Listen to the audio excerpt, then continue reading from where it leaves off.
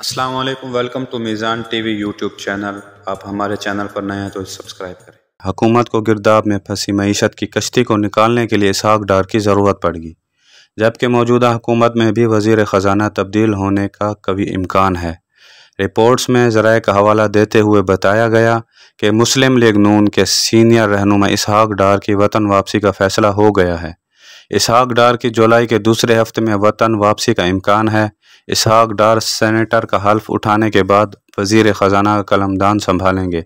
याद रहे कि इस वक्त वज़ीर ख़जाना का कलमदान मफ्ता इसमाइल के पास है।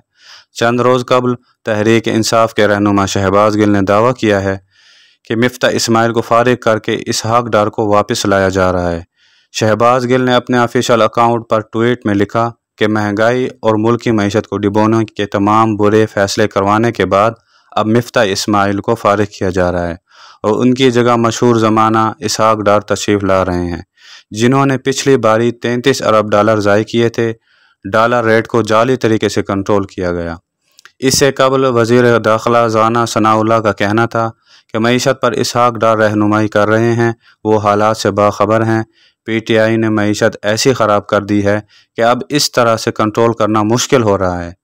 जब डॉलर कंट्रोल में था तो इन्होंने वावेला किया कि डॉलर को इसहाक डार ने कैद किया हुआ है। जब डॉलर को आज़ाद छोड़ा तो डॉलर 115 से 190 पर आया। वज़ीर दाखिला ने कहा कि मुश्किल ये पड़ी है कि आईएमएफ अपनी शराइ में लचक पैदा करने को तैयार नहीं। आईएमएफ से कहा गया कि पेट्रोल पर पैसे तीन चार अकसात में बढ़ा देंगे।